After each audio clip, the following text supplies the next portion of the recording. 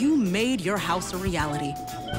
Homeschooling yourself on loans, color coding listings, and flushing every toilet in a 20 mile radius. If you can ace house hunting, you can do it for retirement. Get on track with tips at aceyourretirement.org.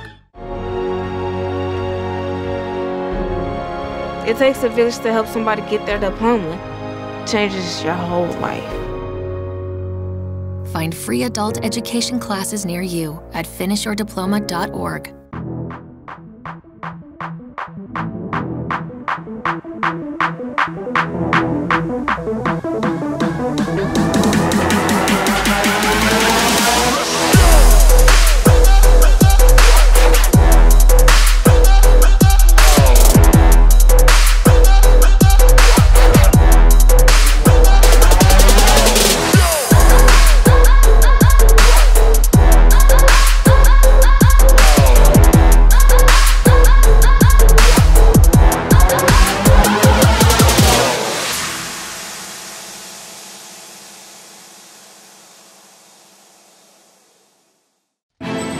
Nothing to do this week? Don't miss another event.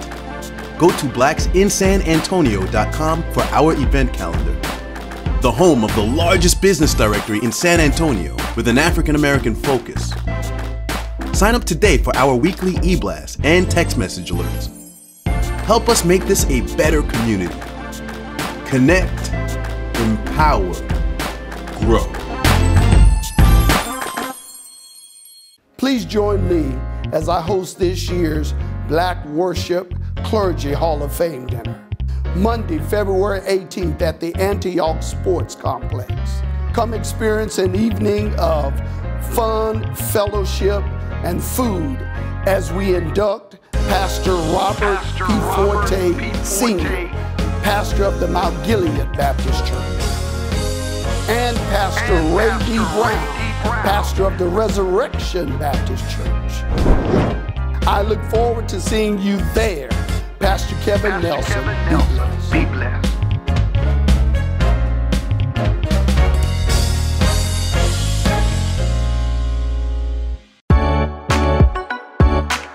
Because it matters to you, it matters to us. It is Black Video News with your host, Keith Scott.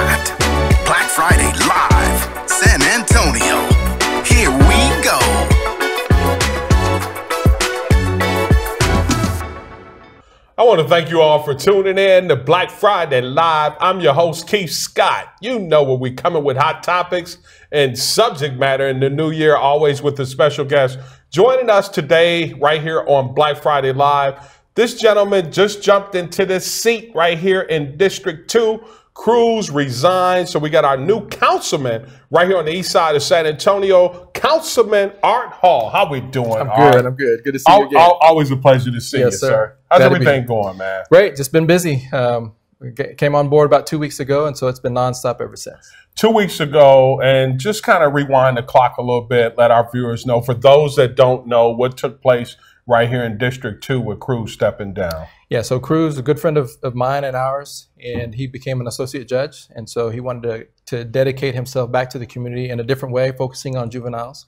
And so when he came off, that opened up that seat, and Right. so the uh, the appointee had to be appointed by the mayor and city council. Correct. So I applied for the position and was was voted in. Yeah, and there were a lot of people that threw their hat in the ring. It kind of was like eight people, then it was narrowed down to three. Right. And so I became one of the three, and so Right. some great folks. So Audrey Lewis was one of those. Uh, Jada, um, uh, I can't think of her last name offhand, but she was one of those as Yeah, I know you're some some great candidates. Right. And uh, but at the end of the day, uh, I think what they've looked at from me is my experience in District Eight uh, from 2003 to 2007. Yeah, and so let's go that. So councilman in District 3 and District, Well, I was in District Eight previously, correct. but now uh, now Right. District Two. Right. So previously eight as a councilman. Right. Has some history, has some knowledge as a councilman right here in San Antonio, Texas. What's going on, Art? You, you, you know, it's a short period of time for my viewers. Art's in the seat for just a short, brief time. But, you know, what can you achieve in such and, and we had this conversation on MLK Day. Right. Well, here we are with a different audience on a different platform with Black Friday Live. What can you accomplish in such a short period of time? Art? So real, quick, so that's Jada Sullivan. So just Yeah, to Jada make sure that we okay. give a shout out to her. Okay. So in the four or five months, what I really wanted to make sure is is that District Two had good, strong representation for these four or five months. Typically, when you're in office for two years, uh, you've got that that history, that background, uh, that con- con- continuation that that happens. But if we're if we put somebody in there that doesn't have the experience, you're going to lose that uh, that continuity. So that's what I wanted to bring. I wanted to make sure that District Two had good, strong represent- representation until we have the election in May. Okay, so so let's let's go let's go into an educational moment real quick when we talk about a councilman. A lot of people may not know what a councilman's position and, and what his objective is as a councilman in the city. Tell us a little bit about what a councilman's role is in the district. So we are we deal with all the city issues. So we have the city level, the county level, the state level, the national level. So it's everything that deals with the city. So all the basic stuff, streets, drainage, that kind of thing. Affordable housing is a big issue right now. Um, the scooter issue is, is is coming up in the next Correct. couple of weeks. So, Okay. so that's big. So it's fire police. Right. Uh, we've had the issue with the firefighters and uh, and the negotiations with the union contract. So those are all issues that the city council members and city council takes on. Yeah. Now I'm just going to go right into it, uh, you know, Councilman, because District Two, for those that don't know, we're right here on the east side of San Antonio when we talk about District Two. District Two seems to get left out a lot with a lot of different issues being left out at the table with a lot of different opportunities. What does District Two need, man? A councilman representation wise, because I mean, you got a short period. Oh, absolutely, here. absolutely. So, District Two, number one, needs great leadership, and so we've got uh, we've we've had some great leadership as, on different levels. We have great leadership in in uh, Barbara Gervin Hawkins uh, at the state level, and Tommy Calvert on the county level. And so, I wanted to make sure that we had that in in on the city level. Um, so part of that is is just making sure you have good, effective leadership that that others on council respect. Uh, one of the council members during the time of voting me in said, "I'm the fifth person in five years to, to serve in that spot." You are. That's right, and so that's that's constant turnover in the last five years, and with that constant turnover, you have you lose that longevity, you lose that continuity, uh, but at the same time, you lose the the opportunity to, to be a leader on different issues throughout the city, um, which give you respect and a basis to to advocate for other issues, particularly uh, for District Two, uh, going forward. So um, How, how long can a councilman hold that seat if he's elected? so now, when, when I was there, it was two two-year terms, so four years. So now it's it's four two-year terms, so eight years. Okay. So eight years.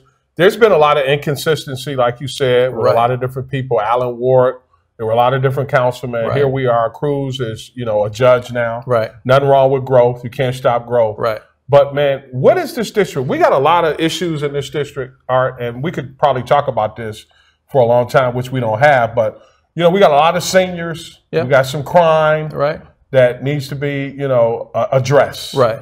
So, and the way I like to put it is, you know, District Two residents, we want everything else that every other uh, individual wants, every other community wants. We want safe streets, we want great schools, we want a, a great living environment, and so it's just a matter of being able to be be an advocate for your issues on uh, in your district, um, and then be a leader on other issues. And so, you know, right now the big conversations that I want to make sure that we continue is affordable housing. Uh, we, we want to make sure that our, our, our streets continue to be safe. I'll mention there that that you know too often I think District Two gets plagued with with some inconsistent information. So while we have some crime, um, most of the crime actually does not happen on the, On the east side. east On the east side, So correct. uh, a lot of the, the, the, the most of the crime happens on the north side, and I think there's a west side substation that that outranks uh, the east side. Um, so those sorts of information we got to make sure that we get out to the public. Uh, we want to attract business here. We want to attract jobs here. We want to attract good housing here. Make sure our, our street we're, we're an older um, environment, so we Yeah, we- community is. is- so we got older streets that need need repairs. Right. So our issues are different from other sides of town, but uh, it's a matter of making sure that you, you have a good uh, council member or leader um, playing that role to advocate for the district. Yeah. So, you know, you got a few more months to do this. You're going to, you know, kind of leave out of this seat. And then there are a lot of different people. We're hearing a lot of different names and for Right. people that want to be in this, you know, in this race. Man, how can you, you know, just be an advocate too for that person that, you know, may end up in this seat? All right. Well, Well- to keep this momentum, because like I said, it's a short period of time, but you can make a quick impact. Yes. Uh, so I carry. So my first day on the job, we were um, selecting city manager candidates, narrowing that down to one on, on the on three days later, and then um, and then had zoning cases uh, on that Thursday. So four days into the job, you're a city manager candidates. You're doing zoning, and then we selected a city manager just this past uh, this past week. So that kind of rapidity in information and making decisions is, is has to happen very quickly. Right. But for me, um, number one, I wanted to make sure we had a level playing field for those running in May. And what I've committed to is that every candidate, uh, I will offer them an opportunity to spend a full day with me. Um, I'll mentor them. I'll grab grab lunch with them. I'll show them what kinds of things I look for uh, in, in serving uh, in a leadership role. Hopefully, that meeting with each of those candidates will be on a Thursday, so I can okay. walk them through a city council meeting.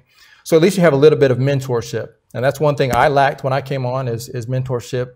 Um, when I first ran for city council, uh, not had a lot of that on the east side since uh, since I've been here as well. So I'd like to be able to be part of that group that, that, that mentors the next generation of, of uh, leadership for District Two. Yeah. Well, quickly, brief too. We got a new district attorney. Yeah. Here in San Antonio, right, right. and a new city manager. Right.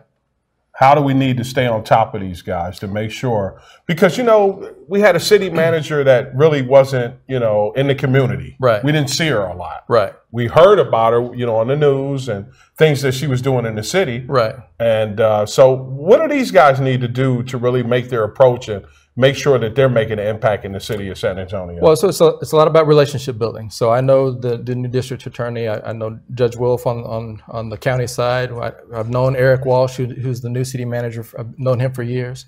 So a lot of it's just relationship building with the council member and, and those other individuals, those other leaders that are out there.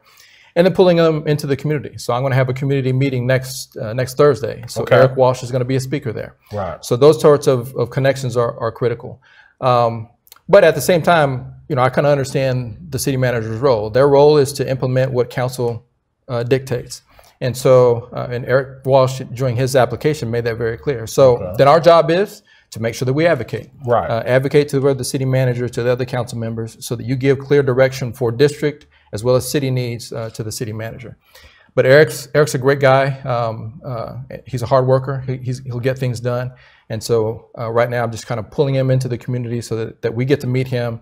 Uh, he understands some of what our issues are. Okay. So when, he, when he goes back and makes those decisions and implements, that he's got perspective. Well, maybe we can pull him over this way and get him on BVN where we can have a conversation Absolutely. with him. Yes, and I'm sure he'd be happy to do that. Well, Art, thanks for taking the time out to stop by and talk to us right here on Black Friday Live. Our District 2 councilman he's got a quick impact he's got to make, man. So we're gonna, you know, we're gonna be, you know, your your cheerleader. We're gonna have you. the pom poms going. Thanks for stopping by, Art Har, our councilman right here in District Two, right here on the east side of San Antonio, Texas. I'm your host, Keith Scott. We'll see you next time right here on Black Friday Live. As always, be encouraged, folks.